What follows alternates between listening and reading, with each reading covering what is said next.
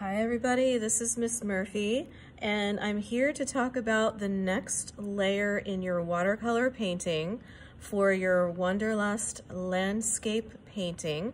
Um, and so I've already gone over the first process in your steps. Um, and the first process and technique that we talked about was the underpainting, which is essentially where you're defining the light and dark values throughout, throughout and creating a little more depth and dimension in your painting.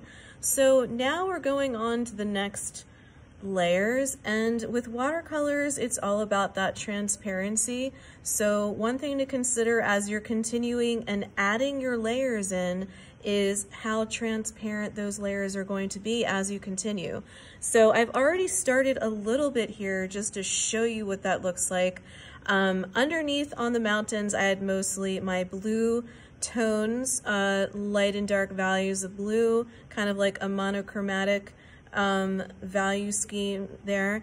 Um, and also, I'm going to go on top because my mountains happen to be kind of greenish brown. So I'm going to go in with some green, but I want to make sure, and I'm going to kind of in my tray here, dilute it a little bit. So if you can in a, this could even be on a plate, whatever you have at home, but in your watercolor dish, you can just open it up and um, you can mix up your colors. You can also dilute them and then just clean it out when you're done. Um, so I'm just showing you as I go on top with my green, it's already darkening in, but I diluted it enough so that this layer is transparent enough that I can see my layers underneath. So I definitely would say don't go too dark when you do this because the whole point was to really be able to see those layers underneath.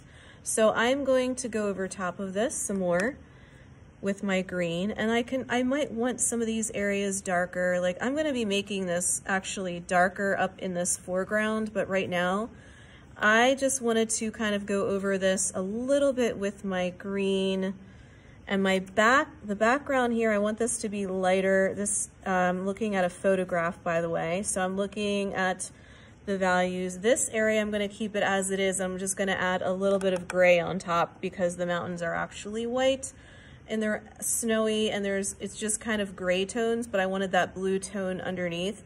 And then I have my water. But like I said in here, it actually gets darker.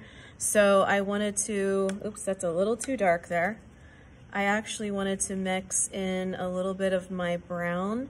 And one of the techniques that I'm gonna be using ultimately is my dry brush. Once this is dry, I'm gonna, I'm actually building up a few layers because there's a couple trees down here and I wanted this area to be darker.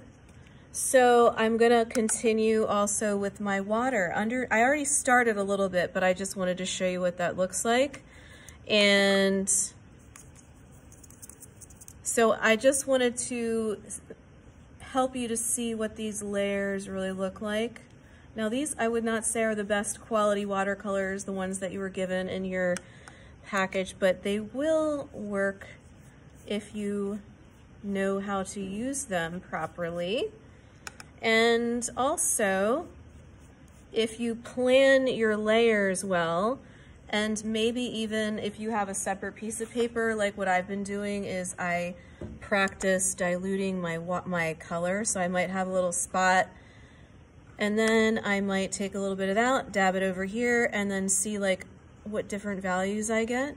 So that's something else you could do as you go here. I might try that with this.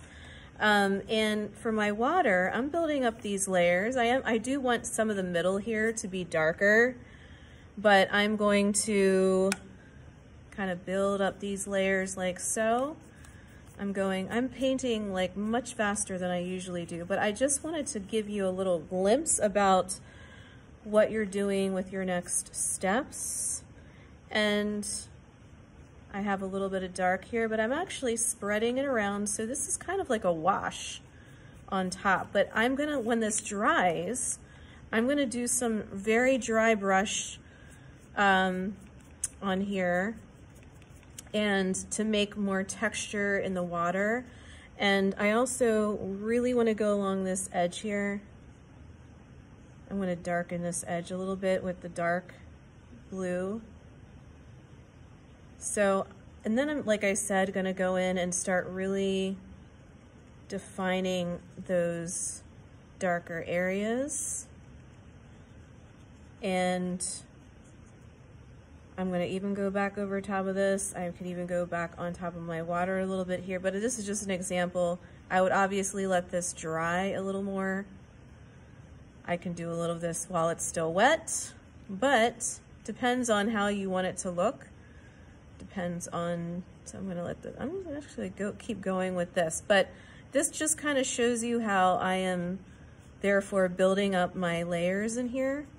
And I'm dragging out this uh, blue that I added on the edge. It's another little technique that I do sometimes. So um, just kind of if you paint a, a uh, if you paint an outline and then you can just drag along the edge there. So you can already see how I'm building up the layers and adding to um, the depth in my painting and you can still see underneath the layers that I already created in my underpainting. Um, so I just wanted to share that with you as you go along. Just make sure you're really thinking about what co your color choices are. Um, remember that you're doing an expressionistic style of painting here, so um, we looked at different styles where um, artists actually change the colors, so you don't have to do uh, usual colors. You can make something unusual like the sky or even the, the water, change the color a little bit, enhance it um, according to the mood or tone that you would like to convey. And remember to have that separate piece of paper for mixing and figuring out your color choices. All right, thank you and good luck with your next steps.